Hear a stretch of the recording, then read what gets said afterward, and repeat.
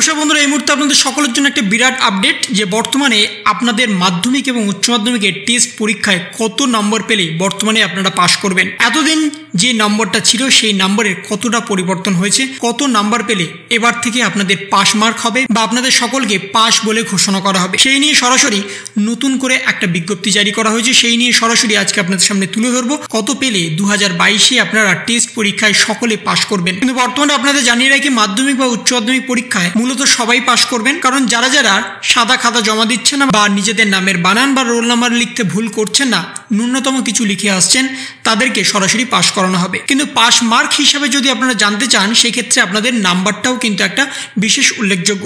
বর্তমানে মাধ্যমিক এবং উচ্চ মাধ্যমিকের ফাইনালে কত নম্বর পেলে পাশ করবেন যদি আপনারা সেটা জেনে থাকেন, তাহলে কিন্তু এটা আপনাদের বোঝার অসুবিধা হবে না। কারণ মাধ্যমিক এবং উচ্চ মাধ্যমিকের ফাইনালের একটা প্রতিলিপি হচ্ছে টেস্ট পরীক্ষা। অর্থাৎ টেস্ট পরীক্ষার যেরকমভাবে কোশ্চেন হয় বা টেস্ট পরীক্ষার সেম প্যাটার্নেই কিন্তু মাধ্যমিক এবং উচ্চ মাধ্যমিক পরীক্ষা হয়। কিন্তু কোশ্চেনের ধরন বা কোশ্চেনের প্যাটার্ন অনেক চেঞ্জ হতে পারে।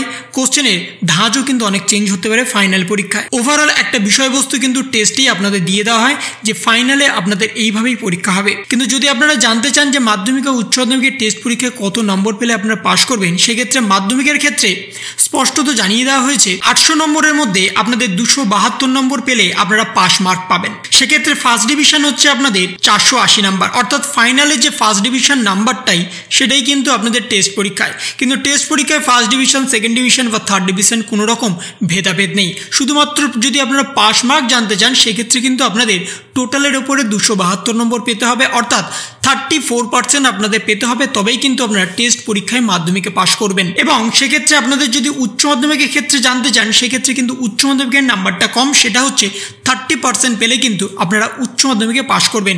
সেটা ফাইনাল বলুন বা টেস্ট পরীক্ষায় বলুন। কারণ ফাইনাল এবং টেস্ট পরীক্ষার দুটো কিন্তু খুব একটা আলাদা বিষয় নয়। ফাইনাল পরীক্ষারই একটা প্রতিলিপি হচ্ছে টেস্ট পরীক্ষা। ফাইনাল পরীক্ষা কেমন হবে ফাইনাল পরীক্ষার প্রশ্ন ধরন কেমন হতে পারে, তার একটা ওভারঅল প্র্যাকটিসই হচ্ছে টেস্ট পরীক্ষায়। তাই টেস্ট পরীক্ষা বর্তমানে সবাই পাশ করবেন, সেই বিষয়ে কিন্তু আপনারা সবাই নিশ্চিত। কিন্তু যদি আপনারা কোনোভাবে সাদা খাতা জমা দিয়ে আসেন বা যদি আপনারা কিছু না লিখে আসেন, সেক্ষেত্রে কিন্তু আপনারা পাশ করতে পারবেন না, এটা আপনারা জানেন। কারণ এই বিষয়ে ইতিমধ্যে আপনাদের সামনে ভিডিও তুলে ধরেছিলাম।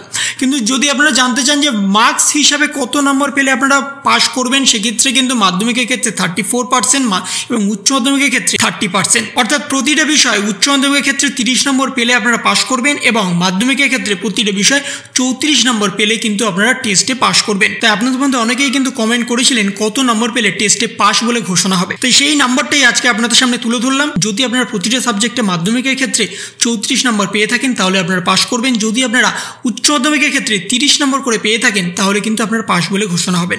কিন্তু তিরিশ বা চৌত্রিশ নম্বরটা বর্তমানে ফ্যাক্ট না টেস্টে সবাই পাস করবেন, সেটা আপনারা ওভারঅল সবাই জানেন। কিন্তু ফাইনালের ক্ষেত্রে কিন্তু সেই একই নাম্বার কিন্তু বর্তমানে থাকবে, অর্থাৎ চৌত্রিশ নম্বর এবং তিরিশ নম্বর।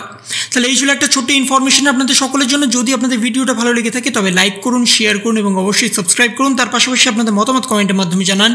ভালো থাকুন, সুস্থ থাকুন, ধন্যবাদ।